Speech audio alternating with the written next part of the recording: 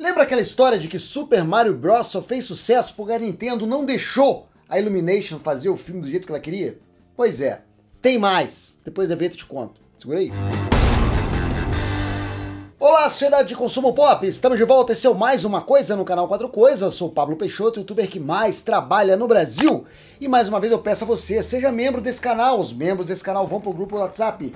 Eles concorrem ao Cavaleiro de Ouro, que vai ser seu. Concorrem também a sorteios semanais de quadrinhos aqui no canal. E finalmente você vira meu amigo nas redes sociais. Vamos falar de Super Mario Bros. E uma entrevista de nada mais, nada menos do que Shigeru Miyamoto, que é o criador do Mario Bros. Ele disse que está surpreso com o sucesso do filme. Que apesar das críticas negativas, da crítica especializada, foi abraçado e protegido pelos fãs. Super Mario Bros. o filme pode chegar a um bilhão de dólares na semana que vem.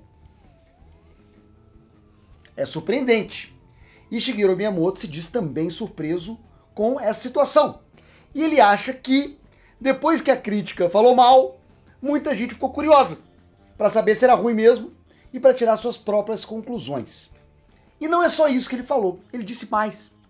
Ele disse que o filme, que ainda não estreou no Japão até hoje, até hoje, Super Mario Bros. ainda não estreou no Japão. Sabe o que ele falou? que tem um roteiro feito pela Nintendo para o filme.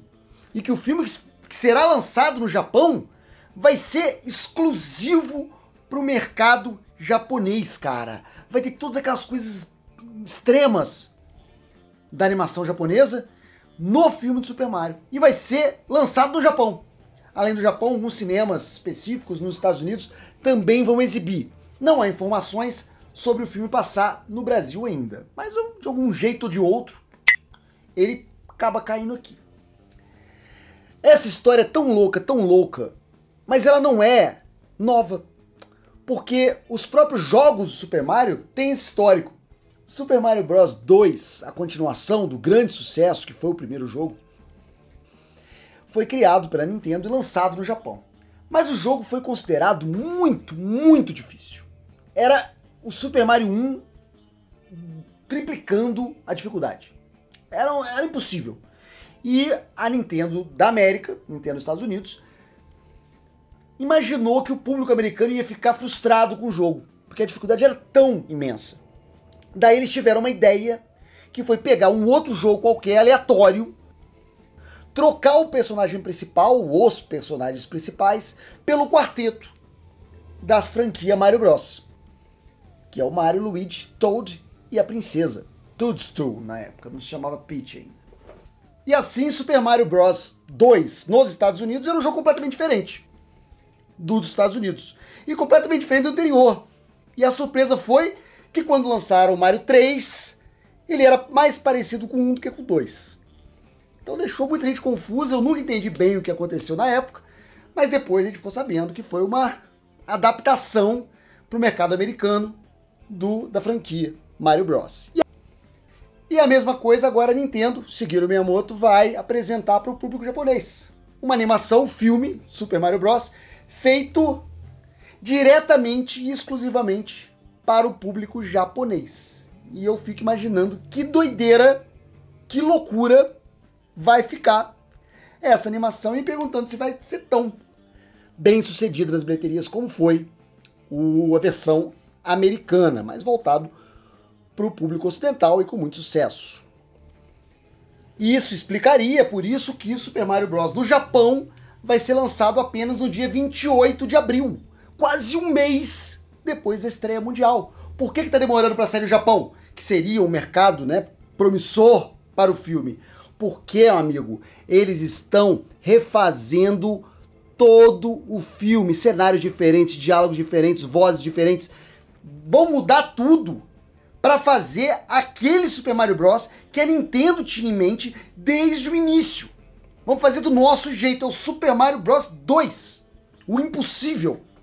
O, o desafio final.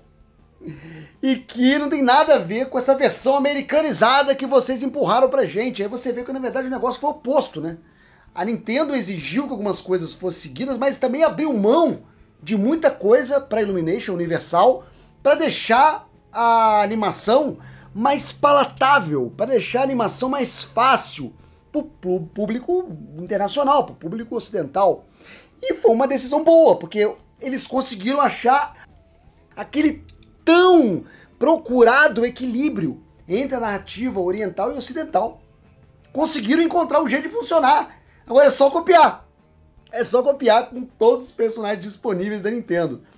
E curiosa essa essa ideia de no Japão, nos cinemas, público japonês vai ver o Mario japonês. Não tem dessa de não, assim, feito para nossa gente, com a nossa cara. Doideira. Doideira. Eu nunca vi isso. Primeira vez. E pode ser, quem sabe, até uma nova uma nova tendência agora do cinema você fazer uh, versões diferentes da mesma animação para países diferentes. Alguma coisa já foi feita, né? Lembra do Zootopia, que tinham apresentadores de jornal diferentes dependendo do país e tal? Agora eles chegaram no extremo. O filme vai ser diferente para outro público. É interessante porque a gente tem no anedotário, nas histórias que contam sobre Super Mario Bros. o filme, essa da Illumination ter um roteiro, querer levar o filme para um lado, e o pessoal do Nintendo forçar a barra para não ir para aquele lado. Não, vamos fazer desse jeito. Queremos do nosso jeito. E teve uma queda de braço entre a Universal e a Nintendo sobre o que seria feito. E a Nintendo ganhou a queda de braço. E agora você imagina que, apesar disso tudo, ainda queria mais a Nintendo, ainda queria deixar o filme ainda mais diferente do clichêzão, do padrão da animação ocidental. O que é muito curioso e vale a pena a gente trazer esse assunto aqui para discutir. O criador do Mario ainda disse que, mesmo se o roteiro estiver em inglês, muita gente não vai entender do que se trata, porque é um roteiro tão japonês, mas tão japonês, que mesmo ele sendo escrito em inglês, não dá para entender nada. E você, o que, que você acha? Você vai gostar da versão 100% nipônica de Super Mario Bros. o filme, afinal de contas? Foi lá? Será que Mario e Luigi, no lugar do Brooklyn, estarão em Kyoto? Escreve aqui embaixo nos comentários, daqui a pouco a gente está de volta com mais assunto da cultura pop depois da vinheta vão aparecer opções do canal para você clicar e ficar mais pouquinho comigo. Até mais, até breve, até já. Tchau.